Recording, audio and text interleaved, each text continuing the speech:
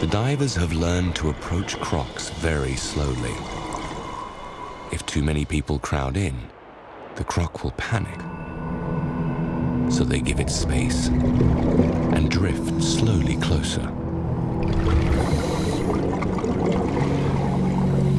Vince gets within a meter without triggering a violent reaction.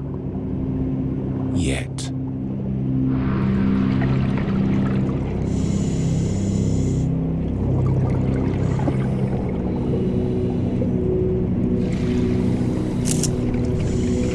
Vince's literature suggests that crocodiles struggle to focus underwater, and if anything, they're far-sighted.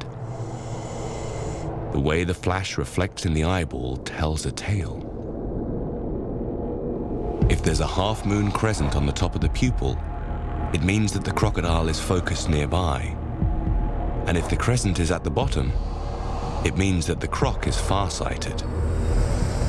So Vince is trying to work out if the crocodile is actually focusing on the divers. This dangerous experiment relies on orthogonal photorefraction and will reveal the plane of focus underwater. How well do they see Brad, Vince, and the other divers?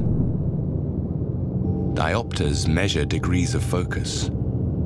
A naked human eye is approximately 50 diopters out of focus in water.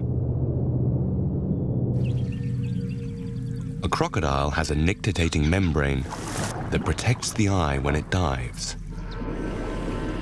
Vince believes that this extra layer blurs the croc's vision badly underwater.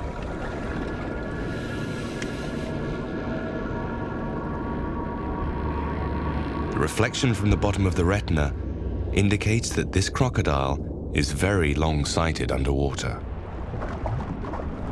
All it sees is blurry movement. So when Vince and Brad are in the caves, the crocs must use other senses to detect them.